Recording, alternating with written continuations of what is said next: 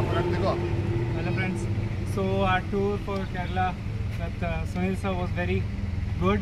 We explored a lot of places and got to know the culture, the places, and also the sightseeing was very good.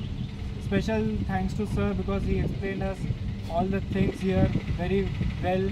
The places he took us were very good. The hotels he suggested, the food was very nice, and also the dress up. The entire The attire has been suggested by sir only. So we are thankful to him because all the attention grabbing was done throughout the Munnar. Wherever we were going, people were uh, watching us. If anyone else want to add. It's okay. That's it. Thank you.